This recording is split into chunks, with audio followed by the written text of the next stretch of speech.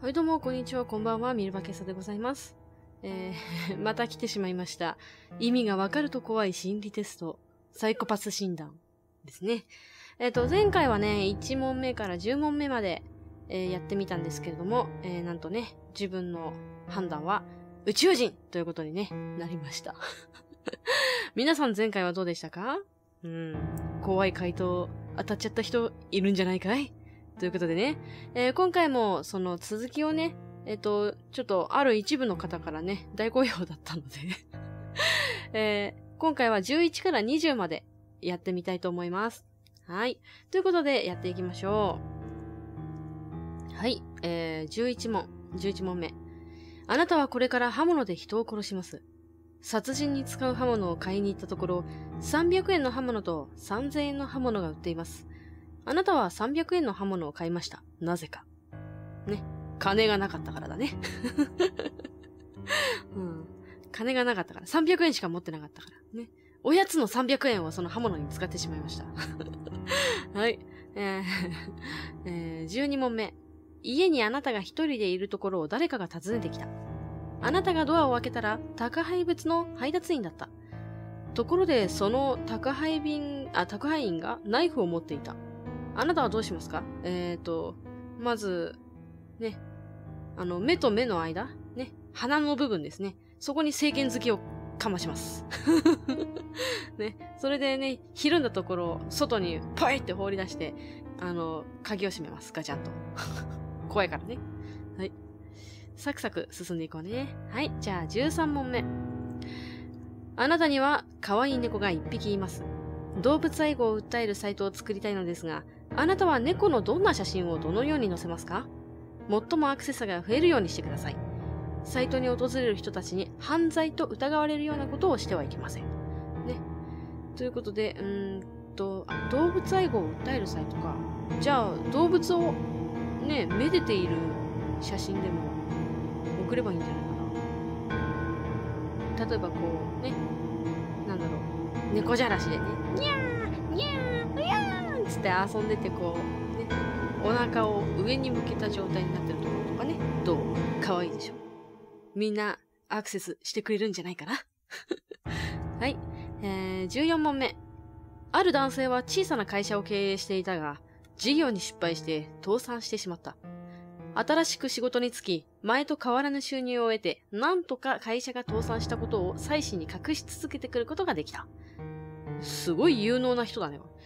しかし男性は妻子が会社が倒産したことを知りつつも、自分を気遣って知らないふりをしていたことを知ってしまう。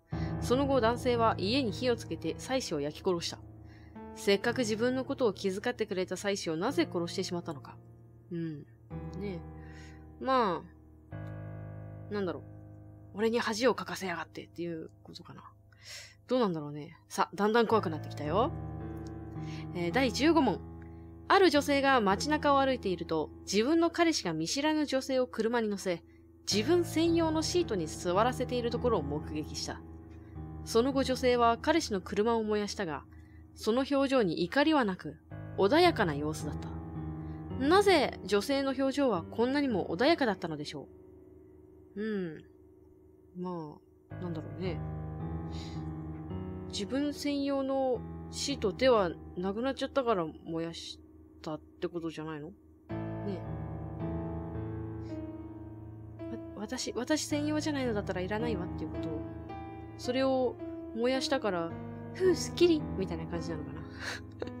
どうなんだろうね。あー、だんだん怖くなってきたよ。やだね。えー、16問目。あなたの彼はいわゆる DV 男。えー付き合い始めは優しい顔をしていたが、深い仲になった途端、態度は表変。あなたに金を貢がせ、些細なことで暴力を振るうようになった。まあ、私だったら返り、返り討ちにしますかね。うん。結局、彼女は耐えられず別れたが、しばらくして男に新しい女ができていた。それはあろうことか、あなたの親友だった。二人は付き合い出して日が浅く、まだ深い仲にはなっていないようだった。そこであなたは親友を呼び出すと、その場で殺してしまった。それはなぜだろう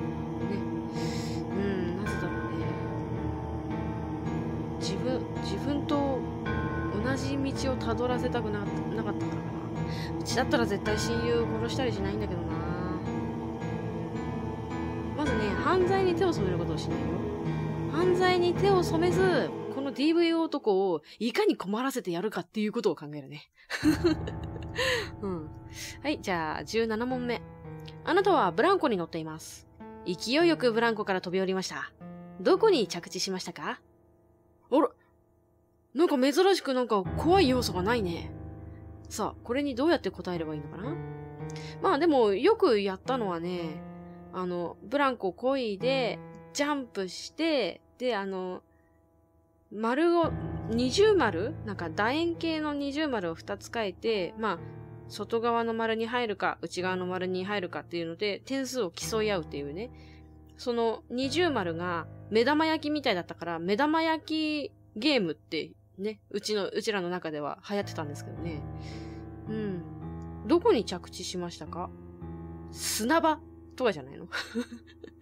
砂場だったらね、痛くないからね。うん。はい。第18問目。あなたは人気のない路地裏で人を殺した。すると運悪くタクシーが通りかかって現場を見られてしまった。運転者は車を降りてこちらに近づいてくる。あなたはタクシーに同乗者がいないのを確かめると、彼のことを殺した。殺した理由は何だろうか？いやいやいや、見られたからでしょ。見られたから、そう、違うの？見られてしまったからじゃないの 見られてしまったって言うてるやんか。理由はそれしかないじゃろ。うん。えー、19問目。あなたは殺人を犯し、森の中へ逃げ込みました。そこで、あばら屋を発見し、中に入って寝ることにしました。A、悪い夢を見ました。どんな夢 ?B、何かが家に向かって近づいてくる。それは何？ということでね。まあ、殺人を犯し森の中に逃げ込みました。っていうことなんですけど、怖い夢を見たか。怖い夢といえばね、今、ゲーム実況している動物たちの森 それを思い出しますね。まあ、そ、それかな？怖い夢って言ったら。私は死んだっていうね。あの、シュールな終わり方ね。夢の通り動物たちに食べられるのだっていうね。それじゃないかな怖い夢。何かが家に向かって近づいてくる。それは何そうだね。まあ、その怖い夢つながりでね、まあ、獰猛な、なんだろうね、イノシシとか、ストーカー、ストーカートラとか ストーカートラとか、あとはなんだ？えっ、ー、と、暴れ牛とか、うん、そういうやつかな？近づいてきてるのは。ね。はい。じゃあ最後の問題です。えー、問題20。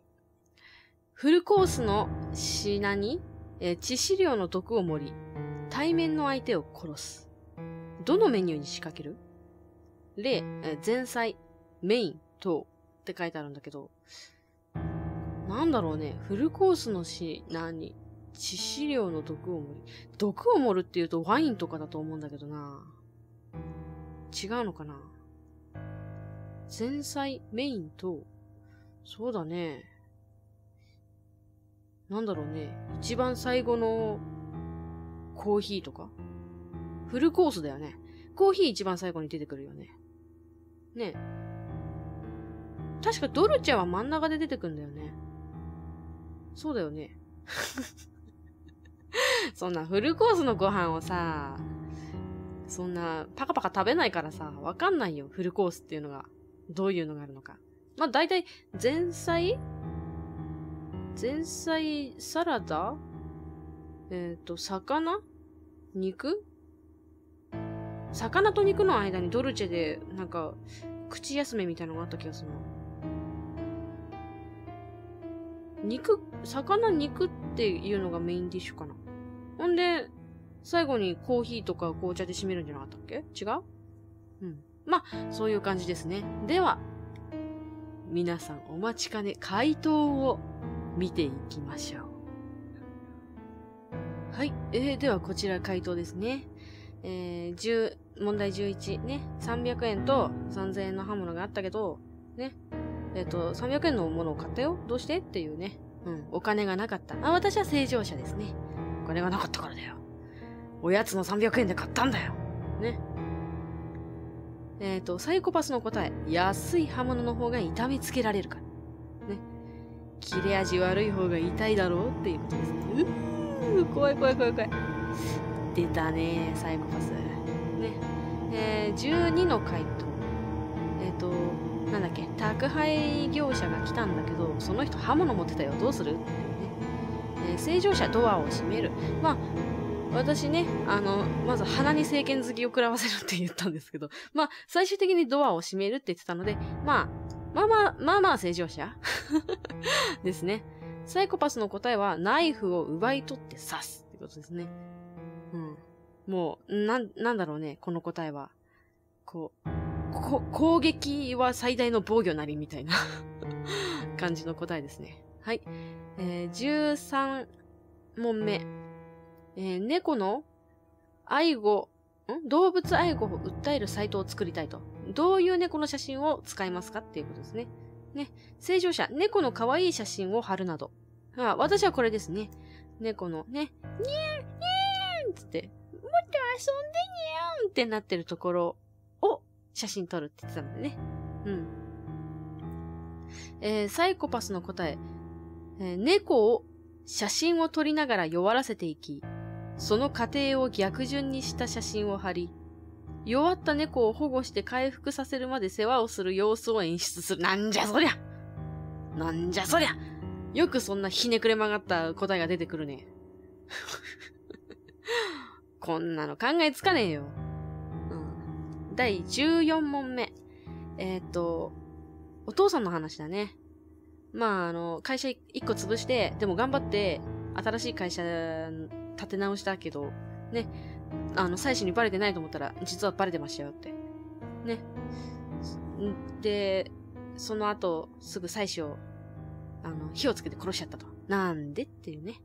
正常者は、あまあ、自分が馬鹿にされてるような感じがしたから。会社が倒産したことがバレてショックだったから。まあ、私の答えはこっちですね。自分が馬鹿にされてるような感じがしたから。ね。俺のプライドを傷つけやがってっていうことですね。うん。で、えっ、と、サイコパスの答え。えー、妻子が社長の妻子じゃなくなったから。うん。男性にとって必要なのは、気遣う妻じゃなく、社長である自分の妻子。自分が社長じゃなくなったため、妻子は自分を社長として見なくなったから。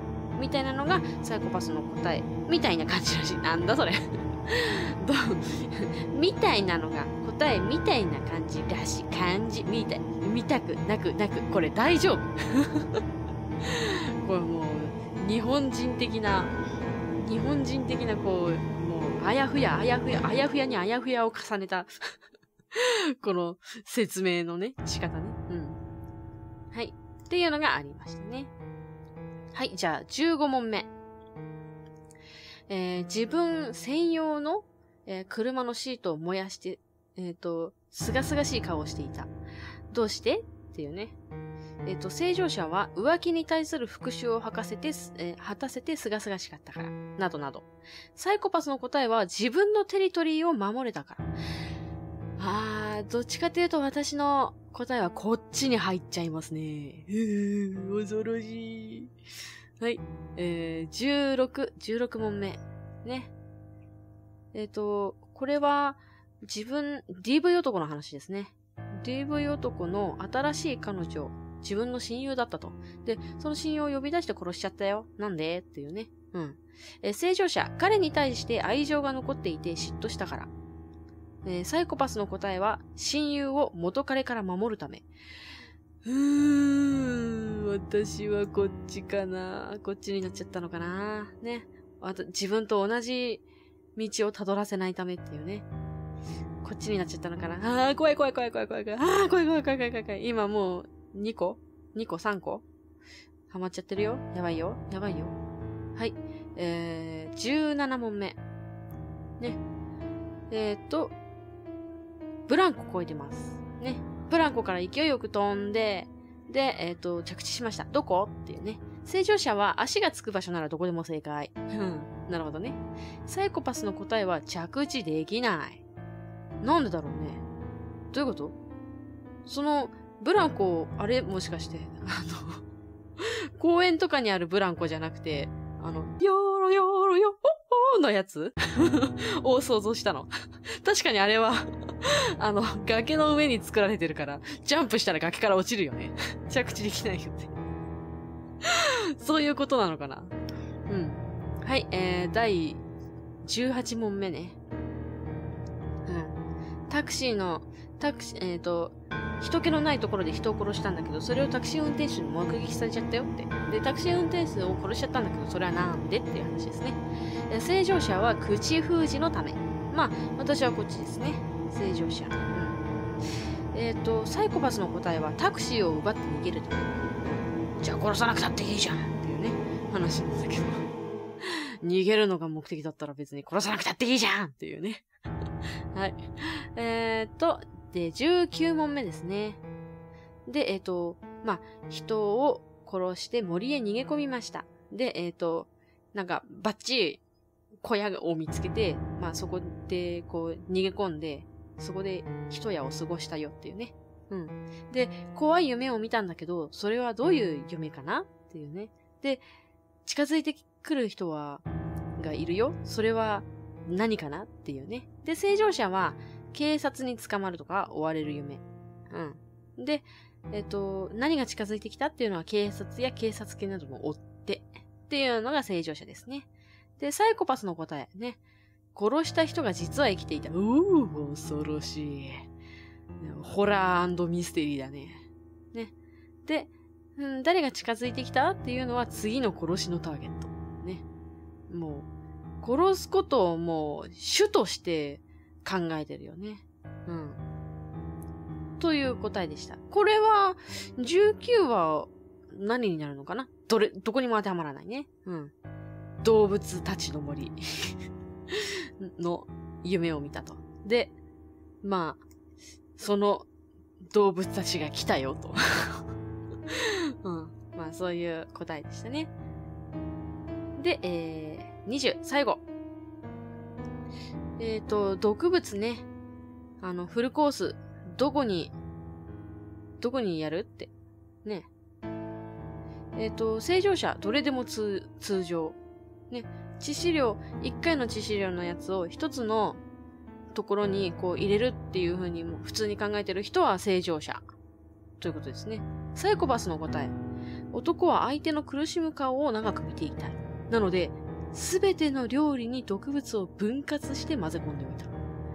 ということだそうです。だから、全部の料理が終わった時によ、ようやっと死ぬってことだよね。うん。サイコパスっていうのは、あれだね。なんか、人の苦しむ姿を見るっていうのが好きだね。はい。